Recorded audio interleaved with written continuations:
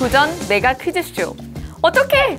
메가 공무원에서 상품 준대. 자, 어떻게입니까? 어떻게입니까? 자, 요런 거 하는 거예요. 어렵지 않죠? 자, 여러분들은 한국인입니까? 아니면 무늬만 한국인입니까? 저 공무원 시험에 응시하겠다? 공무원이 될 거야. 그러면 그래도 보통의 평균의 국민들보다는 국어를 바르게 사용해야 되지 않을까요? 자, 그럼 우리 스테이지 1부터 3까지 제가 공무원 시험에 나온 어휘들을 쏙쏙쏙쏙 뽑아서 퀴즈를 만들어 놨어요.